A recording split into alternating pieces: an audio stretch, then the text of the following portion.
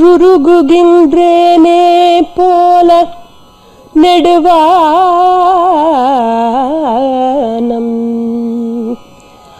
சென்றுருகினும் துளியாய் செல்கின்ற கங்குல்வாய் அன்றொரு கால் வையமளந்த பிரான் வாரானென்று ஒன்றொரு கால் சொல்லாது உலகோ உறங்குமே உலகோ உறங்குமே ஆழ்வார் திருவடிகளே சரணம்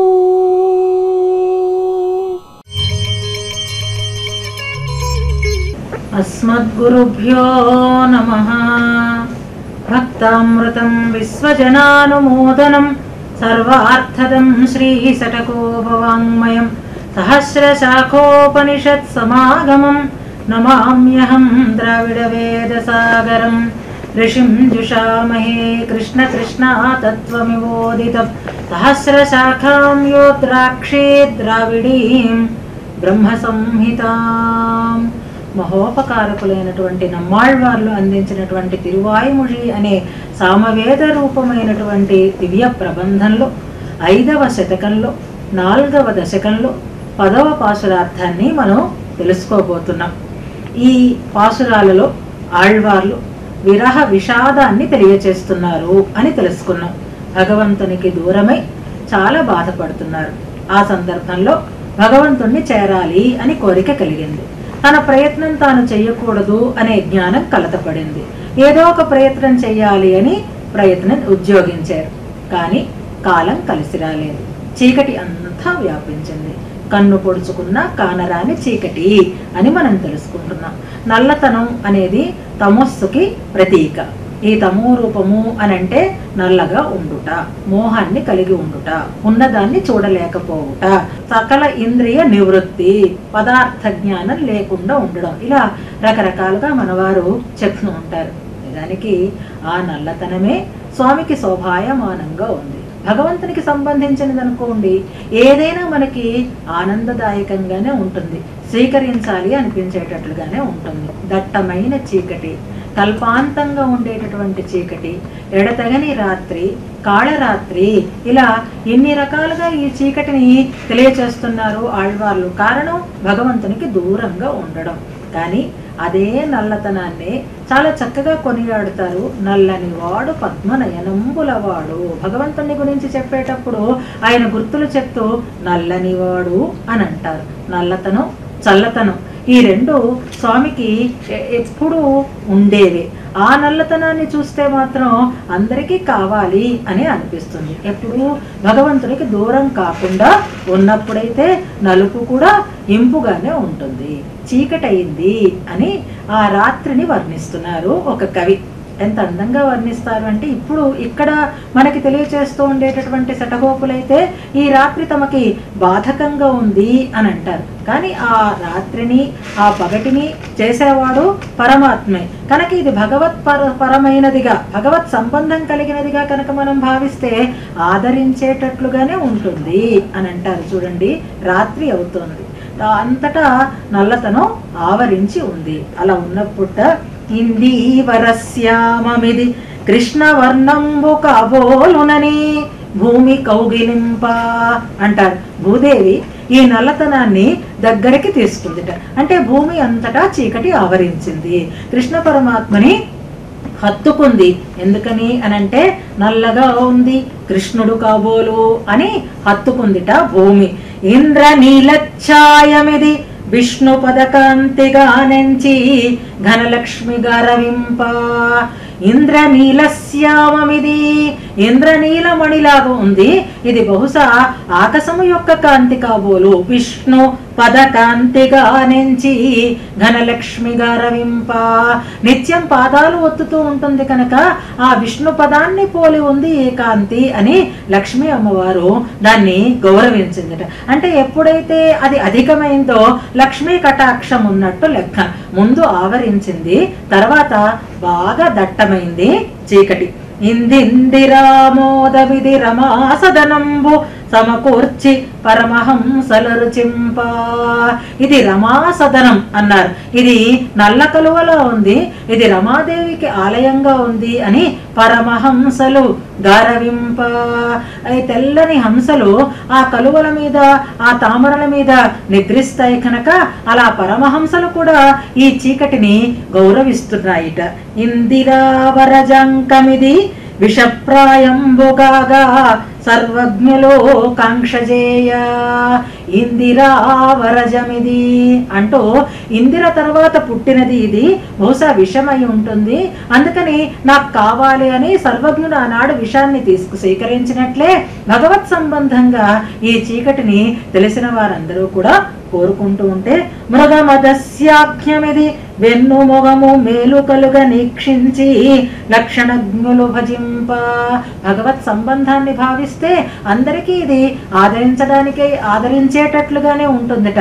అలాంటి చీకటి చివురు పుట్టి దళం వంటి చెట్టు గట్టి తమము ముల్లోకముల గాఢతమము గంచే అంటారు. తమము ముల్లోకముల గాఢతమము కంచే భగవంతుడితో కలిసి ఉంటే ఆదరం భగవంతునికి దూరమైతే అదే తమం దయనీయంగా ఉండేటట్లుగా మన స్థితిని మారుస్తుంది. ఆ చీకటి యొక్క వైభవాన్ని ఆ రాత్రి యొక్క దైర్ఘ్యాన్ని తలుచుకుంటూ ఆళ్వార్లు తనకి రక్షకుడు ఎవరు తమని రక్షించే వాళ్ళెవరు రక్షించడానికి ఆ స్వామి రాకపోయినా ఆయన గురించినటువంటి ఒక మంచి మాట చెప్పేవారైనా నాకు లేరే అని అంటున్నారు ఈ పాసురంలో ఈ పదవ పాసురాన్ని మనం ఒకసారి చదువుకుందాం అందులో ఉండేటటువంటి అర్థ విశేషాలని తెలుసుకుందాం నిన్నొరిగి నిన్నేనే పోల నడువానం సెన్నురుగి நுண்துளியாய் செல்கின்ற கங்குல்வாய் அன்னொருகால் வையமளந்த பிரான் வாரான் என்னு ஒன்னொரு கால் சொல்லாதோ உலகோ ఉరంగుమే ఉలగో ఉరంగుమే అంటారు. నా కష్టం కనపడటం లేదా? నా మాట వినపడటం లేదా? నా బాధ తెలియటం లేదా? నేను ఈ లోకంలో ఒక వ్యక్తిని కాదా? నాకు ఈ లోకానికి సంబంధం లేదా? నా కష్టాన్ని తెలుసుకుని నాకు ఒక ఊరటని కలిగించేటటువంటి మాట చెప్పాల్సినటువంటి ఈ లోకంలో ఒక్కరు కూడా మేలుకొని ఒక మంచి మాట మంచి అక్కర్లేదు. ఉన్న మాటనైనా ఉన్నట్లుగా చెప్పటం లేదే అంటారు. ఉలఘో ఉరంగుమే అంటారు. ఊరెల్లాం తుంజి అని ప్రారంభమైనటువంటి ఈ దశకం ఉలగో ఉరంగుమే అంటూ పూర్తి అవుతుంది. ఊరంతా నిద్రపోయింది అంటూ ప్రారంభించారు. మధ్యరాత్రమైంది కనుక అందరూ నిద్రావస్థలో ఉన్నారు. ఇప్పుడు ఈ కాళరాత్రి ఎడతెగకుండా సాగుతూ ఉంటే నా బాధ మరింత మరింతగా పెరుగుతూ ఉంటే నా పట్ల ప్రేమని చూపించి నా బాధని తొలగించడం కోసం మాట్లాడేటటువంటి స్థితిలో ఒక్కరు కూడా లేరే. మొత్తం లోకమంతా నిద్రకి అధీనమై ఉంది అంటూ తమకి సహాయకులు ఎవరూ లేరు అనేదాన్ని ఇందులో వ్యక్తం చేస్తున్నారు. ఏమవుతోంది? ఏమంత ఆపద వాటిల్లింది? ఎలా ఉంది స్థితి? అని అంటే ఇందాక తాము కరిగిపోతున్నాము అని అన్నారు. కానీ ఇప్పుడు ఆకాశంలో ఉండేటటువంటి స్థితి ఎలా ఉందిట అంటే మహత్తత్వమైనటువంటి ఆకాశమే కరిగి నీరైపోతోందా అన్నట్లుగా అనిపిస్తోంది. నిన్నురుగి నేనే పోలా నెడువానం చెన్ను ఉరిగి అంటున్నారు. నెడువానం చాలా అవకాశం కలిగినటువంటి ఆకాశం. ఆ ఆకాశం కరిగిపోతోంది. కరిగితే ద్రవంగా మారాలి. మారితే అది కిందకి రావాలి. ఎలా వస్తోంది కిందకి అని అంటే నుంతుళియాయ్ అని అంటున్నారు. ఆకాశం కరుగుతోందా? ఎలా అని అంటే నిజానికి అలాంటి స్థితి రాదు కదా. ఈ తుళి పడుతోంది. ఈ తుంపర పడుతోంది. ఆ తుంపర ఆకాశం కరిగి నీరై కింద కురుస్తోందా అన్నట్లుగా అనిపిస్తోంది. ఎలా కరుగుతోంది అంటేనే నేనెలా కరిగిపోతున్నానో ఆకాశం కూడా అలాగే కరిగిపోతోంది. కొన్ని కొన్ని విషయాలని చెప్పడానికి వేరే ఉదాహరణలు మనకి కనిపించవు. నేను కరిగిపోతున్నాను స్వామి యొక్క వ్యసనం వల్ల అన్నారు. నేనెలా కరిగిపోతున్నానో ఆకాశం కూడా అలాగే కరుగుతుంది. ఇది దృష్టాంతంగా చెప్తున్నారు. నుంతుళియాయ్ సెల్హిన్నా కంగుల్వాయ్. ఇది ఒకసారి కాదు ఒక క్షణం కాదు ఒక గంట కాదు రాత్రంతా అంటున్నారు. ఇది అంతులేని రాత్రి కనుక నిరంతరం కొనసాగుతూనే ఉంది అని అంటారు. మనం పొందేటటువంటి రకరకాలైనటువంటి బాధలు ఉంటాయి.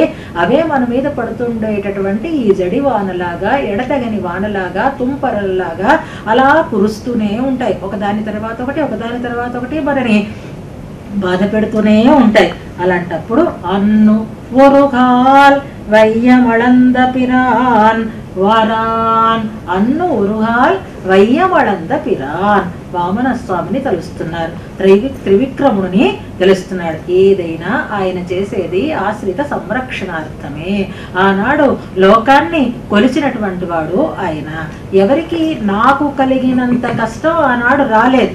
అయినా వారికి కలిగినటువంటి ఆ కష్టాన్ని తీర్చడం కోసం తనంత తానుగానే సంసిద్ధుడై వచ్చి వారి కష్టాన్ని తీర్చిన వాడు అయినాడు ఆయన అన్నారు. అంటే ఆయనకి ఆపన్ నివారణ అనేది ఒక సహజమైనటువంటి స్వభావం. అన్నురుగాల్ వయ్యమళందా అన్నారు. అంటే ఎప్పుడూ అలా కాదండి. ఏదో ఒక్కసారి ఆయనలో అలాంటి స్థితి ఏర్పడింది. చూడలేకపోయినాడు దుఃఖాన్ని. దాన్ని తీర్చడం కోసం ప్రయత్నం చేశాడు అని అంటారేమో. కానీ అది ఆయనకి తెచ్చిపెట్టుకుంటే వచ్చినటువంటి లక్షణం కాదు. కొంతమంది మంచితనాన్ని నటిస్తూ ఉంటారు. కొంతమంది దయని నటిస్తూ ఉంటారు. కొంతమంది ఔదార్యాన్ని ప్రకటిస్తూ ఉంటారు. అవి సహజంగా వారికి ఉన్నవి కాదు. కానీ సందర్భానుసారంగా నలుగురిలోనూ బాగుండదు అనే ఉద్దేశ్యం కావచ్చు స్వార్థం కావచ్చు ఏదైనా కావచ్చు కొన్ని కొన్ని మంచి లక్షణాలు తాత్కాలికంగా వారిలో ఏర్పడుతూ ఉంటాయి. తాత్కాలికంగా తెచ్చిపెట్టుకు అది తాత్కాలికం కనుక సహజంగా ఉండదు కనుక ఎప్పుడూ వారిలో ఆ రకమైనటువంటి ప్రవృత్తి ఉండేటటువంటి అవకాశం లేదు. ఇప్పుడు స్వామి ఉన్నాడు ఈమె బాధపడుతోంది. ఆయనకి నిజంగా బాధపడుతూ ఉండేటటువంటి వారి బాధని తొలగించడం అనేది సహజమైనటువంటి స్వభావం అయితే ఆయన ఇంత జాబు చేసి ఉండేవాడే కాదు. అన్నొరుకాల్ వయ్యమళందా పిరాన్ అంటారు. అలా ఎక్కడ లోకం అంటుందో అనేటటువంటి బెంగతో పిరాన్ అంటారు. ఉపకారకుడు అని అర్థం. అంటే ఇలా చెయ్యడం అనేది ఆయన సహజంగా చేసేటటువంటి పని. అది కాదాచిత్కంగా ఎప్పుడో ఒకసారి అలా చేసి మిగిలిన సమయంలో పట్టించుకోకుండా ఉండేటటువంటి స్వభావం కలిగిన వాడు కాదు. ఆనాడు వామనుడై బలిచక్రవర్తి దగ్గరికి వెళ్ళి త్రివిక్రముడై లోకాన్ని కొలిచి లోకంలో ఉండేటటువంటి సకల జీవజాతాన్ని తన పాదస్పర్శతో పవిత్రం చేసి ఉపకరించినటువంటి ఆ వైనం ఏదైతే ఉందో అది ఆయనకి సహజమైనదే తప్ప కాదాచిత్కమైనదే కాదు. వరానా వరాన్ అని చెప్పండి. పర్వాలేదు. లేదా వరుం అని చెప్పండి. ఆయన వస్తాడు అనైనా చెప్పండి. ఆయన రాడు అనైనా చెప్పండి. ఎవరినైనా ఏదైనా మనం ప్రశ్నిస్తే వారి దగ్గర నుంచి మనం సమాధానాన్ని ఆశిస్తాం. ఆ సమాధానం మనకు అనుకూలంగా ఉండాలి అని కోరుకోవడం సహజం. కానీ వారు నోరు విప్పకుండా ఉన్నారనుకోండి అప్పుడు వారి హృదయంలో ఏముందో మనకి తెలియదు. ఆ మాట తెలుసుకోవాలనేటటువంటి ఆత్రత మాత్రం మనలో ఏర్పడుతుంది. ఎప్పుడూ మనకు అనుకూలంగానే సమాధానం రావాలి అని అనక్కర్లేదు.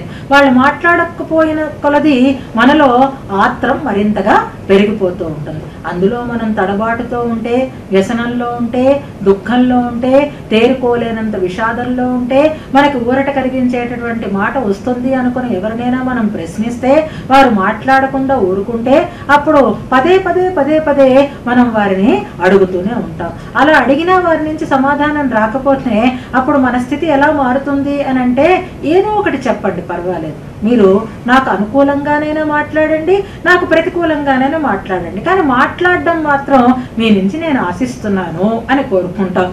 అలాగే మరి ఆళ్వార్ నాయికకి స్వామి రావాలి అనేది ఆశ. వస్తాడు అనేటటువంటి నమ్మకం ఉండేది. కానీ వ్యసనం అతిశయించి ఆ నమ్మకం కలత పడుతోంది. ఆ కలత పడడం వల్ల నన్ను రక్షించేవారెవరు అని ఆరాట పడుతోంది. ఇప్పుడు ఆమెకి ఊరటని కలిగించాల్సినటువంటి మాట చెప్పవలసినది ఈ లోకం. ఎందుకంటే స్వామి ద్వారా స్వామి యొక్క స్వభావాన్ని ఎన్నోసార్లు ప్రత్యక్షంగా చూసి ఉండడం చేత ఆ స్వామి తప్పకుండా వస్తాడు ఉపకరిస్తాడు సంరక్షిస్తాడు అని చెప్పవలసినది లోకం. కానీ ఇంకా ఇప్పుడే రాడమ్మా ఇంకా సమయం ఉంది అని చెప్పడానికి కూడా సంకోచిస్తోందేమో అని అనిపిస్తోంది. ఏదైనా పర్వాలేదు చెప్పండి. స్వామి అంటాడే స్వామి నువ్వే నాకు రక్షకుడివి నువ్వే నన్ను కాపాడాలి అని కోరతాం. అలాగే అని అనొచ్చు స్వామి లేదా కుదరదు అని అనొచ్చు. కానీ మాట మాత్రం ఏదో ఒకటి ఆయన దగ్గర నుంచి మనం తీసుకోవాలి. అదే ఆయన ఇచ్చేటటువంటి ఒక అభయం అన్నమాట. ఉలభో ఉరంగుమే అంటున్నారు. ఆయన రాకని గురించి చెప్పడం లేదు ఆయన రాడు అని చెప్పడం లేదు. ఈ లోకం ఎంత విచిత్రంగా ఉందో కదా అని అంటారు. లోకం మాట్లాడకుండా ఉండడం అనేది నిద్రిస్తూ ఉండడం వల్ల కావచ్చు లేక స్వామి యొక్క ఆ సంకల్పం తెలియక కావచ్చు. కానీ ఆళ్వార్ నాయక యొక్క ఆర్తి మాత్రం తననికి అందరి నుంచి మంచి మాట రావాలి అనేటటువంటి స్థితిలో ఉంది. కానీ మంచి మాట కాదు కదా? ఉన్న మాటనైనా చెప్పడానికి ఈ లోకం సంకోచిస్తుంది. ఎంత నిర్దయగా ఉంది అని అంటున్నారు. ఒక పక్క చీకటి ఆవరించుకొని ఉంది. చాలా దట్టమైనటువంటి చీకటి ఇది. ఎక్కడ వినపడడం లేదు ఏది కనపడటం లేదు. అలాంటి స్థితిలో తనకి సహాయకంగా ఉండేటటువంటి స్వామి ఎక్కడ జాడ లేకుండా ఉన్నాడు. ఈయనకి స్వభావం ఏది అనంటే సంరక్షించే స్వభావం. ఉపకరించేటటువంటి స్వభావం. ఆ మాటని చెప్పడానికి ఈ లోకం ముందుకి రావటం లేదు అని అంటూ నుంతుళియాయ్ ఆకాశం కరిగి నీరై ప్రవహిస్తున్నట్లుగా అనిపించేటటువంటి ఈ ధారలతో కూడినటువంటి చీకటి కూడా కరిగిపోతూ ఉంటే నాలో ఉండేటటువంటి ఆ శక్తి నశిస్తూ ఉన్నప్పటికీ కూడా లోకం నుంచి నాకు ఒక మంచి మాట కూడా వినపడడం లేదు అని అనుకోవడంలో ఈ విషాద వ్యధ ఎంత అధికంగా ఉందో మనకి తెలుస్తుంది. ఆళ్వార్లకి భగవద్ అనుభవంలో ఎంత ఆనందం కలుగుతుందో భగవద్ విశ్లేషణ వల్ల కూడా అంతకు మించినటువంటి దుఃఖం కలుగుతుంది. ఈ ప్రబంధం చాలా విచిత్రంగా సాగుతూ ఉంటుంది. ఒక్క క్షణంలో తనంతటి వాడు ఎవరూ లేరు. భగవంతుడికి తన పట్ల ఉన్నంత ప్రీతి ఎవరి మీద లేదు అని లోకానికి చెప్పి ఆనందపడతారు ఆళ్వార్లు. మరొక క్షణం అది కనపడకపోయేసరికల్లా తాను దుఃఖపడుతున్నట్లుగా మరెవరికీ దుఃఖం కలగలేదు అని అంటారు. భగవంతుడు ఎన్నో అవతారాలను ధరించి ఈ లోకానికి రావడానికి కారణం ఎంతో మంది సద్ సజ్జనులు పడినటువంటి పాటలే కారణం. ఆ సజ్జనుల కోసమే తన అవతారాన్ని ఆయన ధరించి వస్తున్నాడు. పరిత్రాణాయ సాధువున ఇదే కదా ఆ స్వామి చెప్పాడు. కానీ వాటన్నింటినీ మించిన దుఃఖం తనది అని అనిపిస్తుంది ఆళ్వార్లకి. అన్నొరుహాల్ వయ్యమళందా పిరాన్ వారాన్. ఆనాడు అలాంటి ఆపదే కలిగింది కనుకే లోకాన్ని కొలిచేటటువంటి స్థితి ఏర్పడింది పరమాత్మకి. కానీ ఈనాడు తన తనకుండేటటువంటి స్థితి అన్నింటినీ మించినది అనేటటువంటి భావనతో ఉలగో ఉరంగుమే ఈ లోకమంతా కూడా నిశ్చింతగా నిద్రిస్తోంది. నాకు ఊరటని కలిగించేటటువంటి ఒక్క మాట కూడా చెప్పటం లేదే.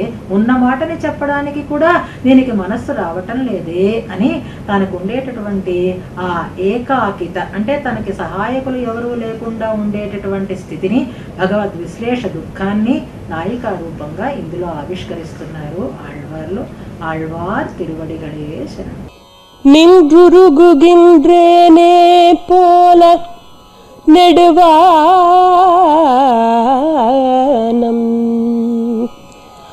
சென்றுருகினும் துளியாய் செல்கின்ற கங்குல்பாய். அன்றொரு கால் வையமளந்த பிரான் வாரென்று ஒன்றொரு கால் சொல்லாது உலகோ உறங்குமே உலகோ உறங்குமே. ஆழ்வார் திருவடிகளே சரணம்.